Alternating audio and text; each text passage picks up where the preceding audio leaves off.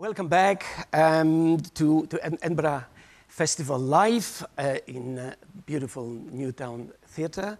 Uh, if you would like to contact us, just uh, write, find our, our website, which is www.sbctvc.co.uk.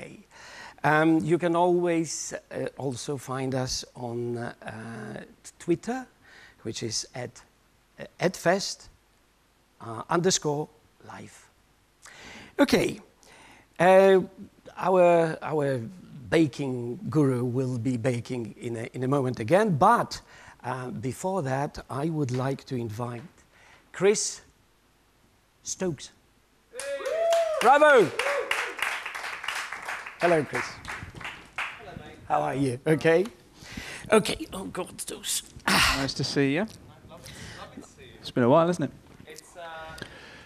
It's, it's been yeah, a nice amount of time. Yeah. How many Pokemon have you caught? None. Just- You've caught no Pokemon. No Pokemon.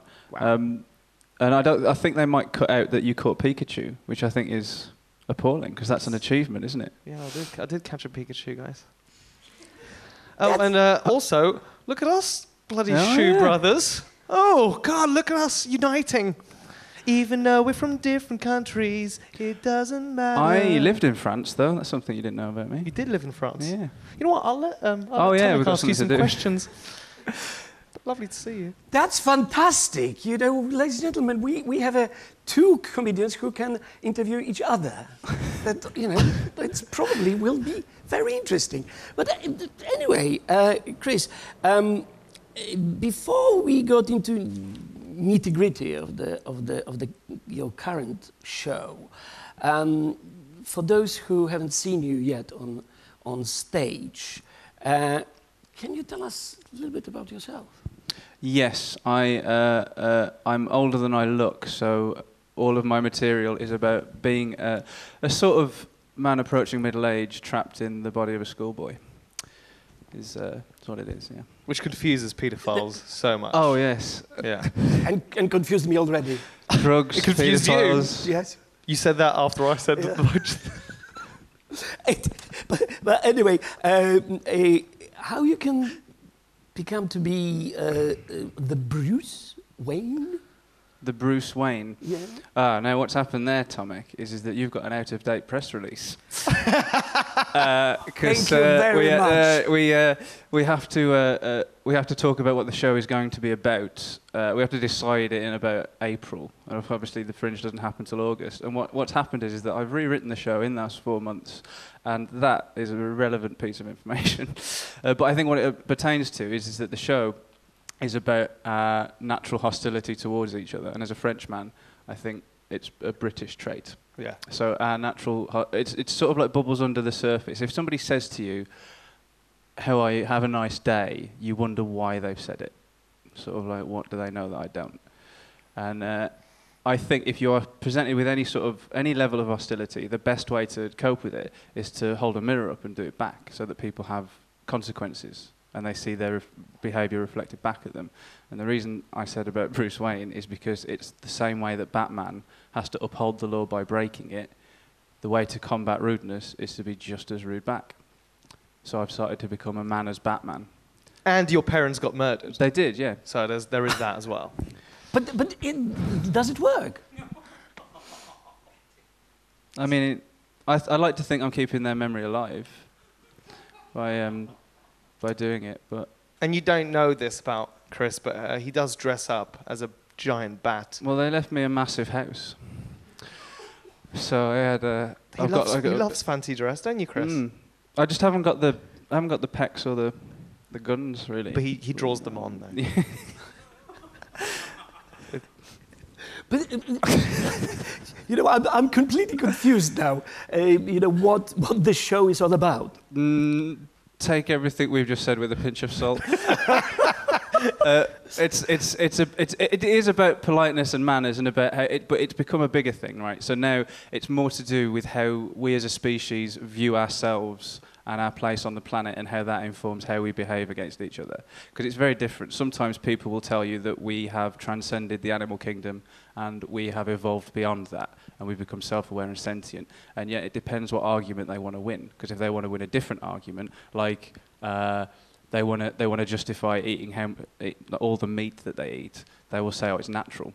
And it's kind of like as if we're still beasts. And we've got to pick a side, I think. Are we still animals or have we evolved beyond it? Huh. So it's about that. You, you- you know, I, I just, I just, when I, when I first came to this country, you know, 30 years ago, and uh, I had a little bit of this kind of experience With British people. with British people, because you know, I, uh, when I, uh, you know, I've been asked constantly, "How are you? How are you?" and no one didn't care how I am, t- to be honest. So that I started to answer, uh, "I'm surviving," and that people just started to say, "Wait a second. Especially with that accent. Oh, well, yeah. Yeah, but Tomek, also remember that half of the population voted out of Europe.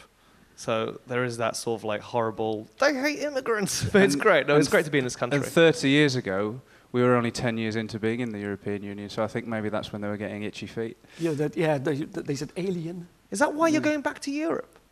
Uh, no, I'm not going not back to Europe. I'm bringing uh, Scotland back to Europe.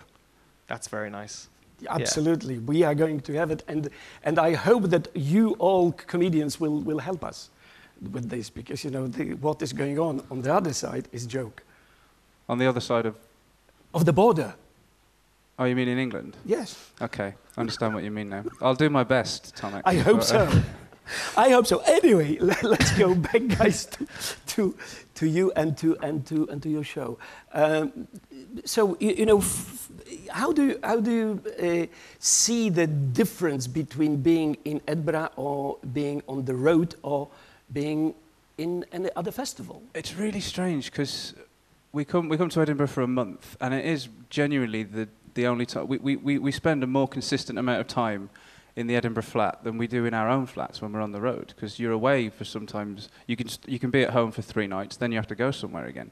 And it's, in Edinburgh, we're in here all in all for a, a sustained period of time. And I think that's why, despite how all of the, uh, you know, the hoo-ha and everything, there's a sense of calm within us just because we go back to the same place each night for a month. That's, that, that's great. And, and it, you know, I, I always found that uh, being on the stage for many, many days in the same place is, is very, very uh, useful for, for development. So I just believe that, that your show is developing as well, both of you. It is nice actually to be in the same room for a month. Yeah. Because if you're traveling around and every stage is different and stuff, you have to improvise with like the stuff that's around you. But if you're in the same room, you can't improvise with the stuff that's around you because it's just the same boring room every day. So that's pretty fun. I was, yeah. So where's your show and when? It's at the Underbelly Med Quad in the Clover Room uh, at 10 past 8 every night except for the 15th. Fantastic. Thank you very much. Big applause, ladies and gentlemen. And now we have to go to our Hairy Mary.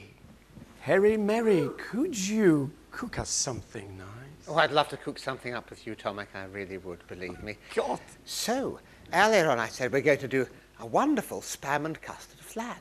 But before we start, I could do with a bit of help from somebody in the audience. Uh, could, could we get someone up here to, to give me a bit of a hand? Oh, yes, a volunteer. Oh, wonderful, wow. wonderful.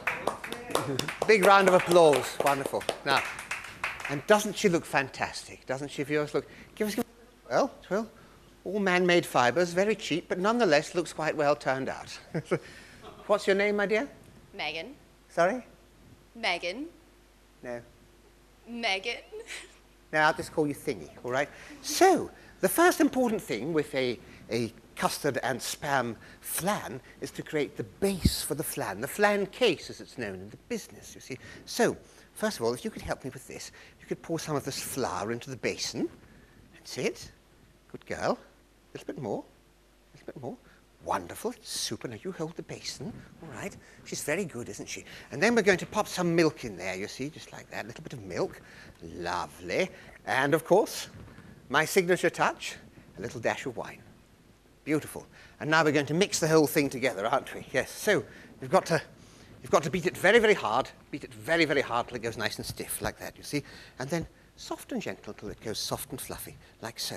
And then after that, what we're going to do is we're going to pop this in the fridge for about three days or so, and then it'll be nice and crispy and ready for the next part of the recipe. So, we'll be back in the next part to show you how we complete this wonderful dish. Thank you very much, Thingy. This is wonderful. Thank you. Bravo.